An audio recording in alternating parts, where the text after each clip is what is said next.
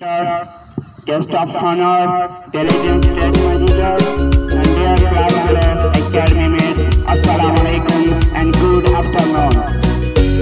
I am delighted and honored being given me this valuable opportunity for to deliver a short speech. Today the topic of my speech is about our Muslim united or disunited nowadays and what should we bring cause that Muslim disunited nowadays. Uh, I am first of all wanted to say what is unity.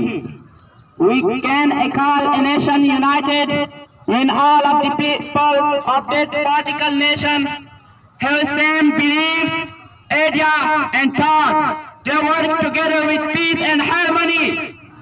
We all know that Unity is a strength. It is one of essential components of a strong nation.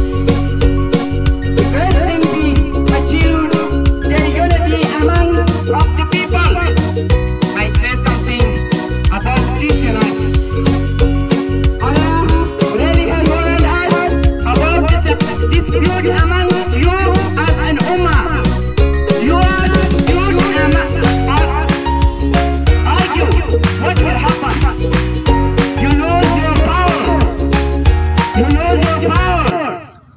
That's your might and umma.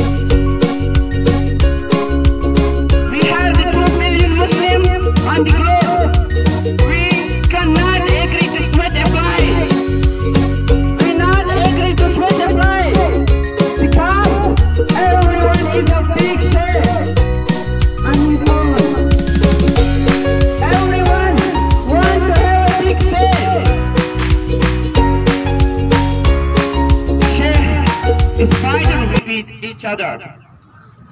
Each one declaring to other kafir.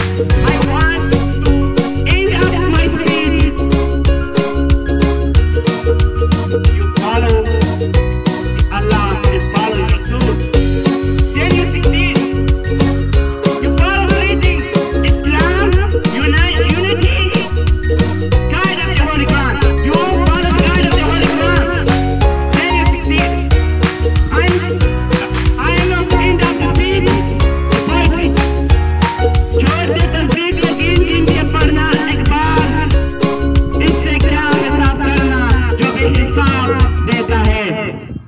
Thank to listening my speech